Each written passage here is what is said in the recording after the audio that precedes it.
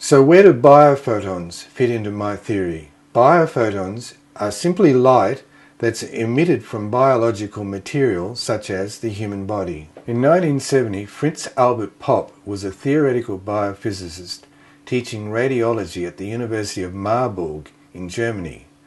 Radiology involves the interaction of electromagnetic radiation on biological systems. At that time, he was working on two almost identical molecules, benzoapyrene and benzoepyrene. This is organic matter, and the former is a lethal carcinogen, and the latter is not. There is only a very small difference in their molecular makeup, and yet the difference in their toxic toxicity is profound. Popp was observing the different effects of UV light on these molecules. Ultraviolet light has a wavelength of about 380 nanometers and a frequency of 10 to the power of 15 Hertz, which is just outside the range of visible light. Its wavelength is shorter than visible light and its frequency is faster. Ultraviolet and visible light are electromagnetic waves, the same as all the other waves in the electromagnetic spectrum, which ranges from radio waves at one end that have a very long wavelength and a comparatively slow frequency through to gamma rays with a very short wavelength and a very fast frequency of 10 to the power of 20 Hz. The ultraviolet light that Popp was using is towards the middle of the electromagnetic spectrum, as is visible light. So when Popp was using UV light on these benzopyrenes, he found that the toxic version, which is found in coal tar and cigarette smoke amongst other things, absorbed the light and then re-emitted it at a completely different frequency. The other molecule, which is harmless to humans, benzoepyrene, allowed the light to pass through unaltered.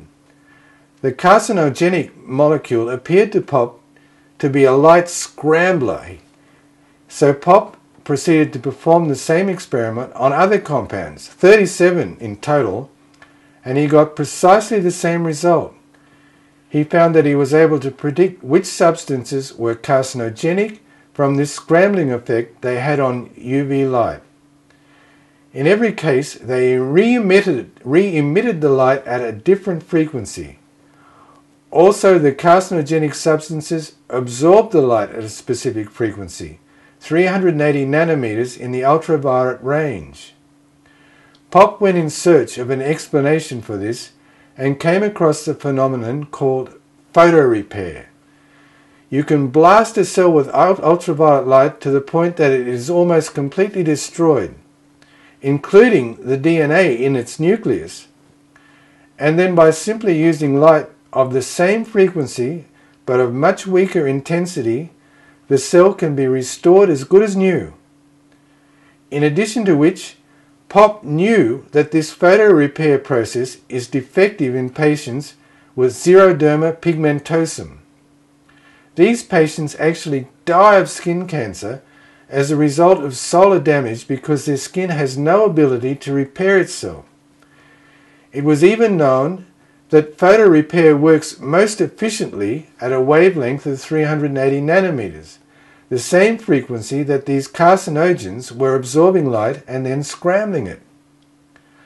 Obviously, there had to be some connection, or at least it appeared so to Popp, who proceeded to write a groundbreaking paper that was published in a prestigious medical journal, where he argued that there must be some kind of light naturally produced by the body that is responsible for photorepair.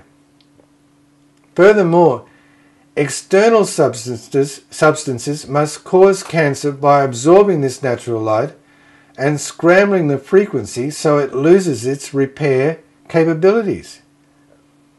After this initial discovery, Popp and his PhD student Bernhard Ruth set about to prove that light was emanating from the human body. His student was a gifted experimental physicist and he constructed a machine along the lines of an X-ray detector that could count photons one at a time. This machine had to be extremely sensitive in order to accurately capture the extremely weak emissions that they assumed would be emanating from the human body, Popp came to the conclusion that photons, that is light, controls everything in the cell. He found that all the molecules that make up the cell responded to individual frequencies and that these molecules in turn modulated the frequencies of other processes further down the line. The photons have been likened to the conductor of an orchestra directing all the individual instruments, the, in this case the components in the cell, with his baton. Different frequencies signal all the myriad processes and functions that's going on in the cell. There's so much of conventional genetics and biology that remains unexplained. For instance, how enzymes can recognize their substrates, how antibodies in the immune system can grab onto specific foreign invaders and disarm them, how protons can dock with different partner proteins, or latch onto specific nucleic acids to control gene expression. That's just a few.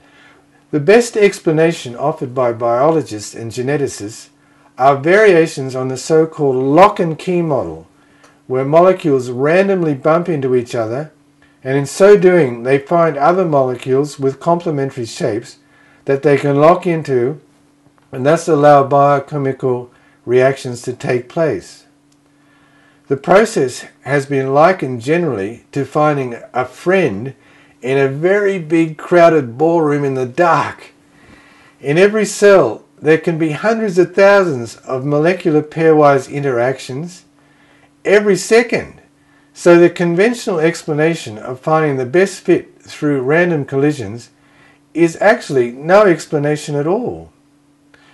Likewise, the explanations of geneticists that segments of DNA are translated and transcribed into proteins is devoid of any spe specific explanation as to how the genetic information actually translates into biological function.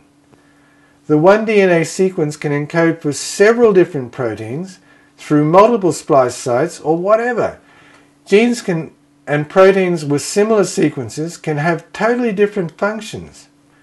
Although it is widely accepted that the secondary and tertiary structure of proteins are crucial for their functioning, the basis sequences of amino acids that make up the protein are completely silent as to how and why these protein structures can form.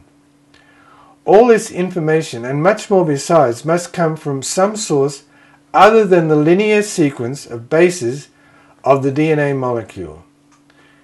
It is obvious that a mechanical explanation for the molecular interactions in cells is inadequate and there is an ever-growing body of research known as biophotonics or bioinformatics that shows that the interactions are actually electromagnetic in nature.